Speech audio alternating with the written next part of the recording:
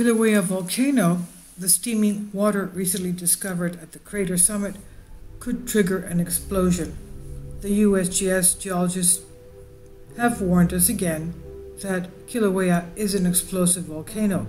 Leon Doyle of Express UK reports Kilauea volcano spewed lava across Hawaii for two months last year. Actually, it was more than two months, it was about three months, destroying hundreds of homes, creating a new outcrop of land at the uh, East uh, Rift Zone and of the state's uh, biggest island. Now, steaming water is pooling at the summit of the angry volcano, and nobody knows where it's coming from. It's not from rainwater because they didn't have that much rain, so it should be coming in from the sides, underground water. Kilauea volcano caused chaos for a small portion of Hawaii's Big Island from May to August last year when the active volcano spewed cubic tons of lava. The volcano is one of the most active in Hawaii and has regularly erupted for hundreds of years. Right now, the United States Geological Survey, USGS, is tracking the volcano, monitoring it, and it has not predicted any impending eruptions. What they have noted, though, is that steaming water is steadily pooling at the bottom of the volcano's crater at the summit. In their latest August update, USGS noted water has started to pool at the Kilauea summit around Halemaumau crater, and they wrote, current, wrote, currently there are two small puddles. They began from what they saw forming in July 25th flyover and August 1st, and these puddles continue to slowly expand and they also deepen. Hawaii Volcano Observatory scientists with the USGS said the steaming, deepening water Steadily deepening water is either the result of rainfall or groundwater at the site. Well, we know that they didn't have that much rainfall, so it must be the incoming groundwater coming in. Since experts detected no heavy rain at the site, they believe the latter option is the most likely cause of the slowly filling ponds.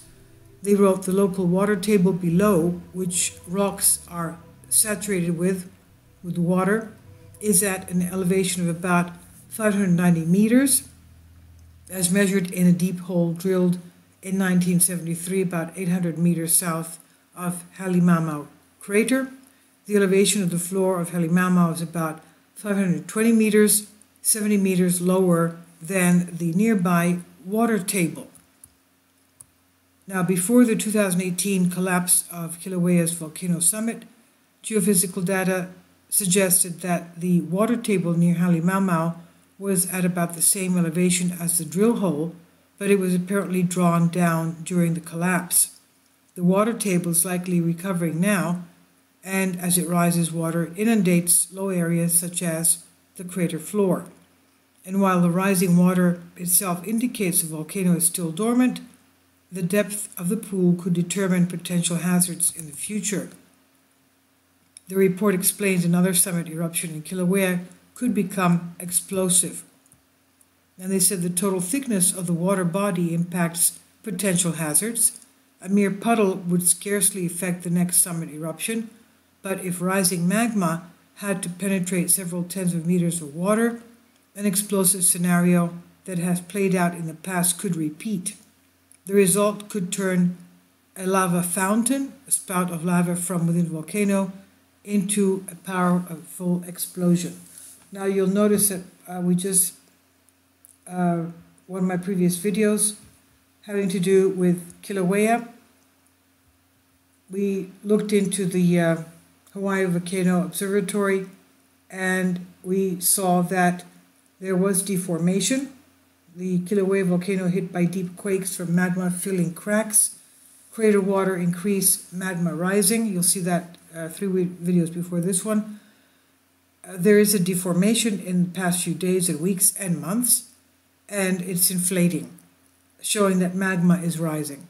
And also, we've had uh, today just a two magnitude quake uh, just southwest of, Kilo, of the uh, crater, which was at a 43, 42, 43 kilometer depth, which is pretty deep. It's in the area of the magma filled cracks below the area of where most earthquakes are. This is not shallow, 42 kilometers is pretty deep. So something is going on there. Uh, this is from Express UK. I'll, I'll leave a link below for you for this.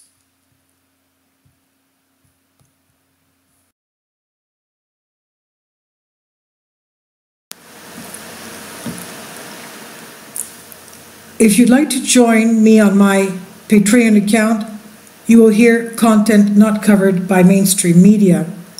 These riveting stories will be based on my research, and I will state my opinions and give my personal insight on diverse and controversial subjects and world events, events not covered by mainstream media, and not certainly on not supported by YouTube guidelines.